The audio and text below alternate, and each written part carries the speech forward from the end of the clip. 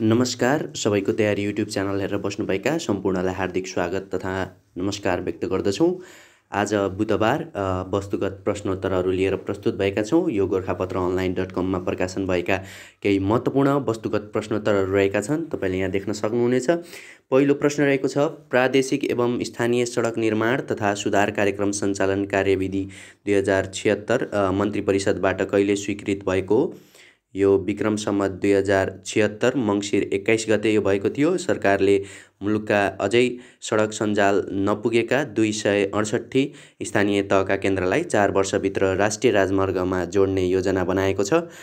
त्यसै गरी दोस्रो प्रश्न रहेको छ नेपालको पहिलो कलेज त्रिचन्द्र कलेजको स्थापना कहिले भएको? विक्रम सम्मत उन्नाइस सय पचहत्तरमा यो त्रिचन्द्र कलेजको स्थापना भएको थियो जुन पहिलो कलेज रहेको थियो। उन्नाइस सय छिहत्तरमा त्रिचन्द्रमा आइए तथा आइएससी बिए विक्रम सम्मत उन्नाइस सय एकासीमा बिए तथा विक्रम सम्मत दुई हजार चारमा बिएससीको पठन पाठन सुरु भएको थियो।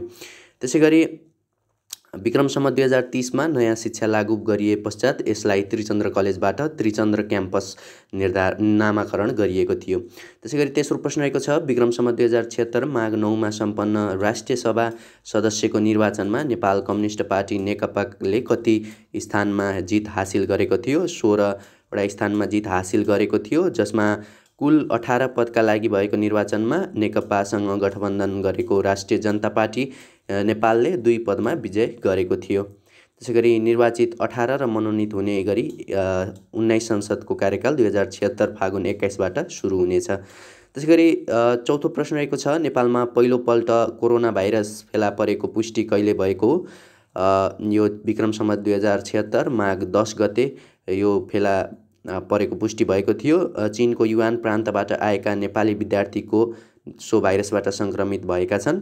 त्यसै गरी कर्णाली प्रदेशको प्रथम पञ्चवर्षीय योजनाको आधारपत्र अनुसार पाँच वर्षमा कर्णालीका नागरिकको प्रति व्यक्ति आय कति पुर्याउने लक्ष्य रहेको छ?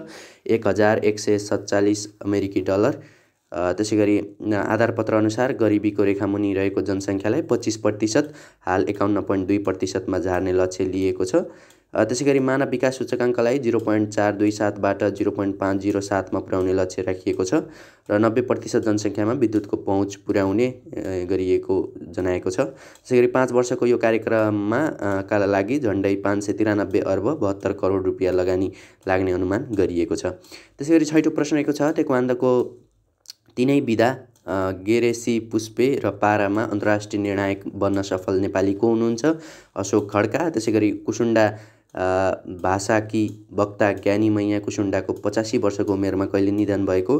दुई हजार छिहत्तर माघ अठा एघार गते। त्यसै गरी बाल्यकालमा जङ्गलमा बिताउनु भएकी ज्ञानी मैयाले आमा बुवाबाट सिकेको कुसुन्डा भाषालाई अहिलेसम्म बचाएर राख्नुभएको थियो।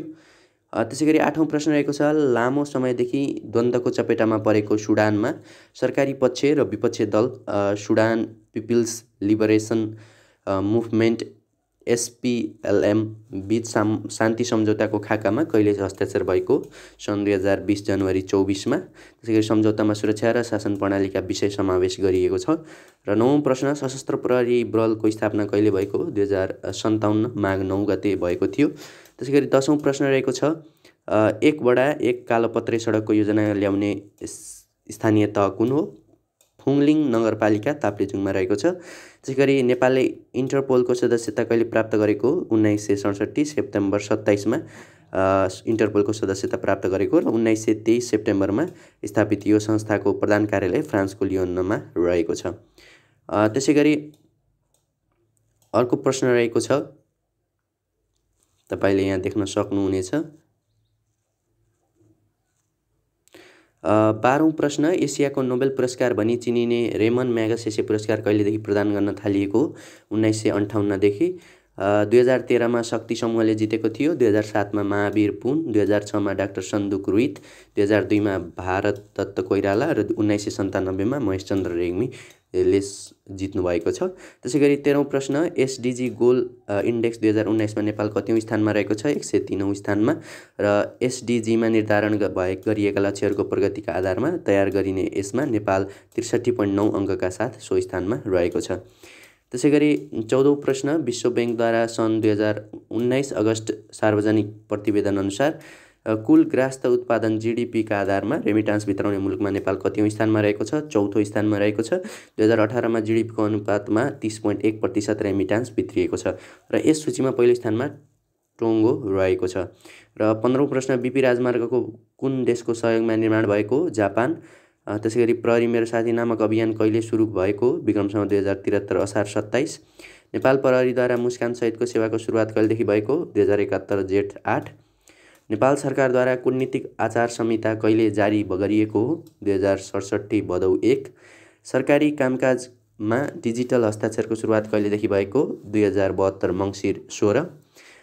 विदेशी पर्यटक आकर्षित गर्ने उद्देश्यका साथ नेपाल सरकारद्वारा अतिथि देवो भव अभियानको घोषणा कहिले गरिएको हो?